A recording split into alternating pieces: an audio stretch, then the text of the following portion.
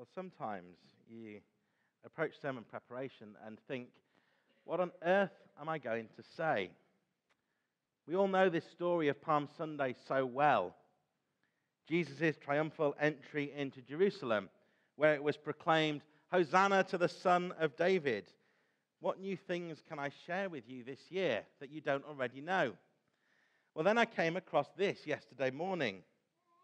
There was shock yesterday as Buckingham Palace confirmed that King Charles will ride part of the way to his coronation at Westminster Abbey on the 6th of May on a donkey. There was widespread disbelief as detailed plans for the grand procession were released. And in an unprecedented break from convention, part of Charles III's journey will include a favorite donkey from the Highgrove estate. Palace spokesman Zechariah Palmbranch confirmed that the Queen Camilla's two year old pet donkey, April, was being trained for the big day, despite never having been ridden before. Meanwhile, stunned royal watchers were asking, what kind of king rides on a donkey? Of course, friends, you guessed it, that is an April Fool's joke. I thought it was very, very good. It's not my original. I stole it from Facebook from Ruth Azalea, um, and I just thought it was really funny, and I wanted to share it with you because it actually brings into mind that question what kind of king rides on a donkey? It really made me think about how strange that first Palm Sunday must have been. It's interesting to think about the triumphal entry to Jerusalem, the arrival of a king, when we are heading towards the coronation of our new king all the ceremony and all the pageantry that went with her late majesty's death and funeral service, through to the throne room when King Charles III was declared as our new monarch, through to the preparations that are underway for the coronation about 35 days away now. As I watched that declaration of King Charles III, I was taken up in what felt like a very old, ancient tradition that sort of thing you see on medieval dramas where monarchs are proclaimed, Hear ye, hear ye, we have a new king. Obviously, in the days before BBC News was on your phone and everybody put everything on Facebook. If we go back to the time of Jesus, then it's likely something similar would have happened when a new monarch was proclaimed. Indeed, in 2 Samuel 5, chapter 3, David is anointed Charles III will be anointed. There are similarities. And on Palm Sunday, we have this scene occurring where Jesus is approaching Jerusalem in preparation for the Passover, amidst the backdrop of significant political unrest and under the rule of the Roman Empire, who we know were brutal. Jesus is declared as the king. In some ways, though, the crowds gathering to welcome Jesus in could be seen as a sign of protest and defiance against the authorities. The people wanted to see Jesus. And indeed, it's worth noting at this point that the triumphal entry to Jerusalem is mentioned in all four of our Gospels. It's one of those passages that appears, and there is a lot of similarity between those Gospel accounts. Even in John, it's fairly similar to our synoptics, Matthew, Mark, and Luke. There is significance in laying their cloaks on the ground, which should not be lost on us. Indeed, it's a sign of loyalty. 2 Kings 9:13, for example, the people do the same for Jehu when he's proclaimed king. And it's a sense that people are making a statement about what they think is going on. There are palm branches being waved to mark the celebratory procession. In the memory of Jerusalem, there are stories of this happening before. Indeed, if we dip into the Apocrypha, which is the books that are in some Bibles that are not considered part of canon, we don't, we don't approve them as scripture in the Anglican Church, but they are partly there to help us understand a bit of the, t- the time that was happening. One of the books talks about this. In 2 Maccabees 10 7, Judas Maccabeus is welcomed into the city with palm branches being waved after conquering the pagan armies that were oppressing Israel about 200 years beforehand. On top of the cloaks and the palm branches, we hear the shouts, Hosanna to the Son of David. Blessed is he who comes in the name of the Lord. A reminder that Jerusalem is the city of David. A reminder that the Jews have been waiting and praying for a king like David to arrive. And they would have thought this is the time. Jump into John's gospel. By the time of the entry, we have seen the seven signs in that gospel. Indeed, the last being Lazarus, who we explored last week.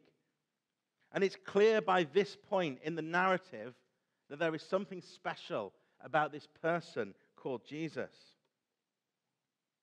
So the scene is set, if you like. Jesus' triumphal entry into Jerusalem. Yet, what we often forget is that there is another procession taking place in Jerusalem on this day from the west gate, not the east where Jesus is. There is another triumphal entry. But it isn't about praising and singing about who is arriving. The other procession is about instilling fear, discipline, and obedience to a brutal regime that had a hold on the world. The other procession is the arrival of a man who will become significant as we journey through these events of Holy Week set before us. At the West Gate, Pontius Pilate is arriving in Jerusalem. He lived 60 miles away in Caesarea by the sea because Jerusalem was too insular and partisan and too hostile to the Romans for him to reside there. However, as the governor, he was tasked with keeping the peace, especially during holy days when emotions often ran high.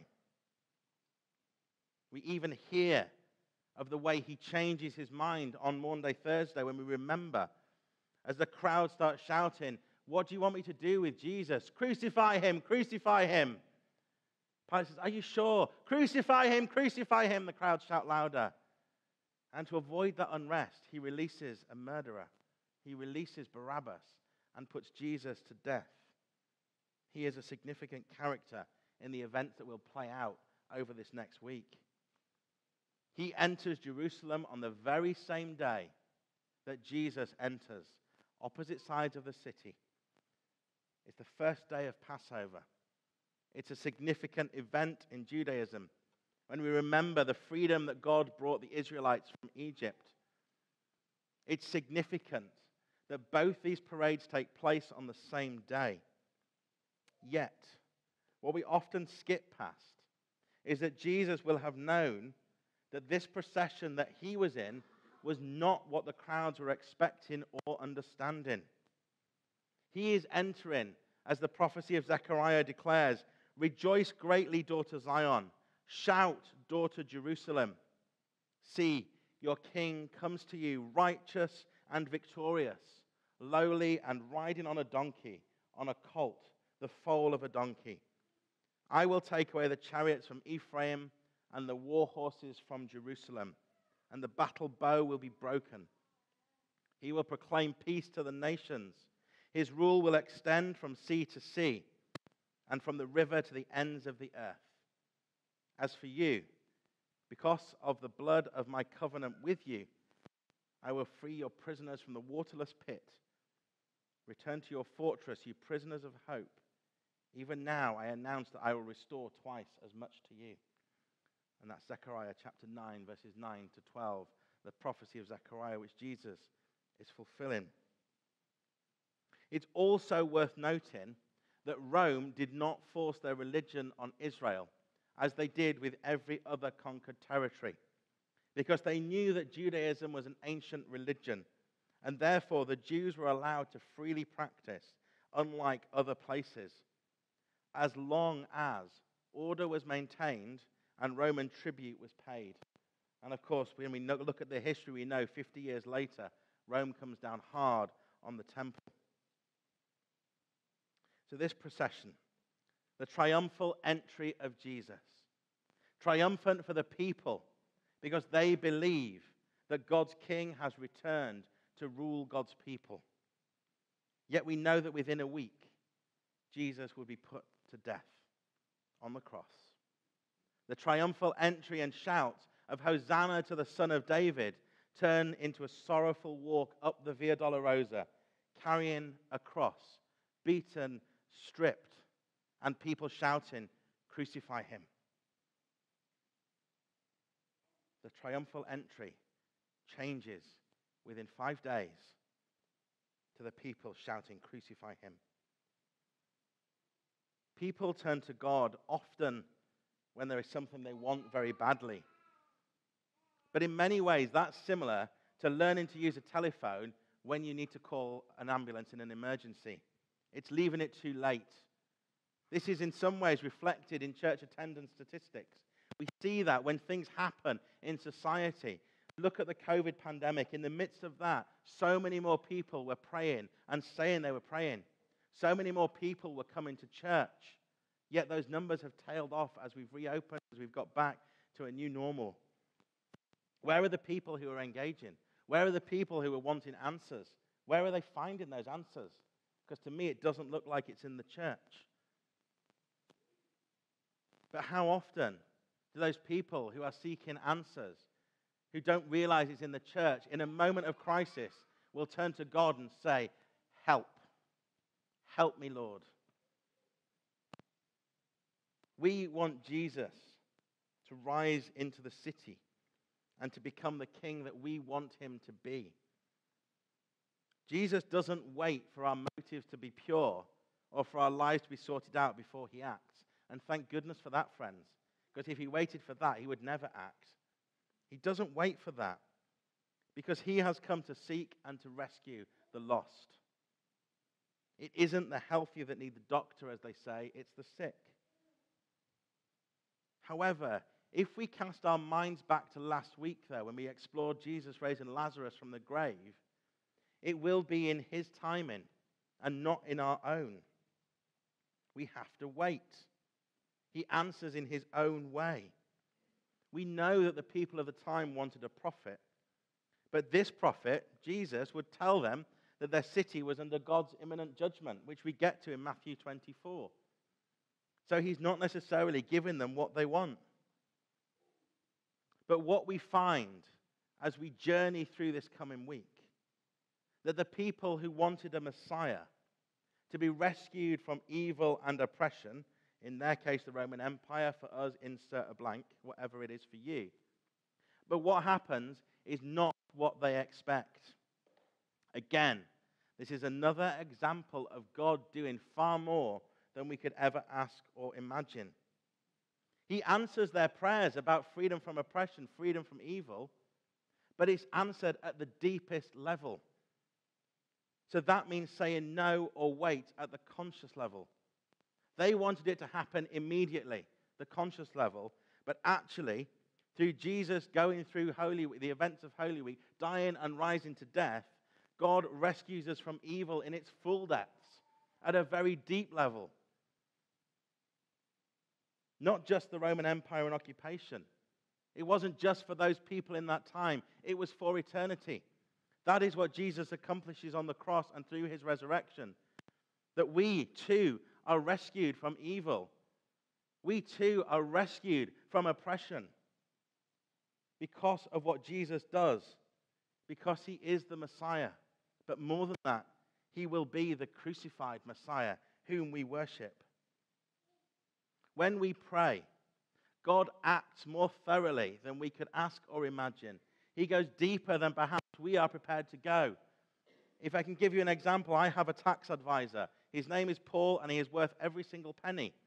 Every year, he helps me submit my tax return, which is a nightmare as clergy, so much so that under HMRC we come under special investigations permanently. There you go. But he often goes much deeper than my tax return. He wants to make sure that I have everything right. That's in many ways what it's like with Jesus. He doesn't just look on the surface, but he goes deeper. He doesn't just bring healing if we ask for healing for a, a broken leg, but he brings deeper healing as well. He will bring healing for something that we are carrying and perhaps something else that we don't know that we're carrying.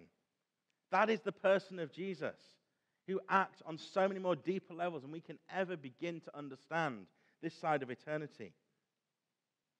So, the entry of Jesus on Palm Sunday is another lesson in this mismatch between our expectations of God and how God answers. Matthew 16:23 reminds us of this when Jesus tells Peter he has the things of men in his mind whereas Jesus has the things of God. We have the things of men in our lives, of humans, of we have those things that take up our time, that take up our thoughts. We don't have the mind of God. The crowds did not have the mind of God on that triumphal entry. The crowds are going to be disappointed. But their disappointment, whilst it looks cruel at a surface level, deep down will bring about the dawning of salvation when our Messiah goes to the cross, takes our sins, is separated from the Father, cries out, It is finished, and then rises to new life on Easter Sunday. So, the hosannas that are shouted by the crowd on Palm Sunday are justified. They're just not for the reasons that the crowd thought, but they're the reasons that we can see looking back at that event. Jesus stands against the powers of the world. We know at this stage in the narrative there are already plots to try and kill him. He was warned by the disciples not to go back to Jerusalem. We heard that last week. But he goes back. But he doesn't just slip in quietly through the back gates in the dark of night. He goes in after bringing his friend back to life in front of a great crowd. He then enters the city of David on a colt to much adulation on the same day that the governor, Pilate, is also arriving. The disciples will not have been expecting the week to end with Jesus on the cross. Yet there are indications that Jesus already knew this. Those two quiet days we looked at last week before going to Lazarus. Jesus weeps over the city on the Mount of Olives as he knows that that fragile relationship with Rome will ultimately crush the city of David. Yet, despite all of that, despite all of that, Jesus still comes. Jesus still stands. And he still sacrifices himself for peace and for me and for you. Angels proclaim at his birth, Glory to God in the highest heaven and on earth peace and goodwill among people. Jesus' disciples echo the angel's song peace in heaven and glory in the highest heaven. The multitude that are proclaiming Jesus as king aren't made up of the temple elite. The disciples at the back gate are hailing Jesus as Messiah, calling for peace on heaven and earth where the, where the blind and the crippled, the poor and the despised, not the well known people and high standing in society. They will have been fearing the Romans. But it's the poor and the weak, the blind, the oppressed that are there proclaiming Hosanna to the King of Kings. Blessed is he who comes in the name of the Lord. They are the people who we have explored in the previous chapters since the start of the gospel when we look at Jesus' ministry on earth. It's the people whom he has engaged with that are welcoming him in as a king. It's those who were healed, loved, and accepted. It's the tax collectors. It's the beggars. It's the lepers. It's the man with the unclean spirit. It's the paralytic. It's Jairus and his daughter. It's the widow and her son, the centurion and his servant, the woman with the issue of blood, the woman with the alabaster jar, and it's all the little children. All the people who are despised and forgotten, they are the ones that are there laying their cloaks down, waving their palm branches, saying, Hosanna to the King of Kings. They are the ones proclaiming the one who comes in peace and for peace. Though it's 2,000 years later, when we look and commemorate what happened, we aren't that far away from Jerusalem on that Palm Sunday. Nations continue to kill their own people in order to maintain power. Refugees crowd into filthy camps because no one will take them in. Governments allow police brutality, mass incarceration, poisonous water into impoverished communities because the poor cannot fight back. We are not that far away from what was happening in Jerusalem all those years ago. The banks and corporations have free reign to destroy our environment and gamble with our economy because wealth and power are synonymous. Is it just the way it is? Who will stand for them? Who will stand for us? We feel powerless and helpless. We can feel sad for the poor. We can send money to the sick. We can worry for the homeless and the countryless. But at some point, at some point, we have to stand against that front gate parade without the benefit of literal swords or armor. Because we are called to be disciples, standing for what Jesus stands for. We are called to welcome the stranger. We are called to heal the sick. We are called to make people whole again, even the ones we don't like and even the ones who scare us. That is peace. That's what we are called to do as Jesus' disciples. The only path is through the back gate and onto that cross. But that path through the back gate and onto the cross is the path to resurrection. It's the path to new life. It's the path to being made whole. It's the path to an eternal relationship with Jesus Christ. So, friends, my prayer for us all this week is that we ponder anew the events that we will hear about and reflect on. I pray that we will discover a new meaning in the wonders of what Jesus achieved for us through the days ahead, which we explore together. I pray that we will learn something new about the importance of this season and that we will come closer to Jesus by our own journey from the triumphal entry of today through to the Last Supper, betrayal, death, and into glorious resurrection. Hosanna to the King of Kings. Blessed is he who comes in the name of the Lord. Amen.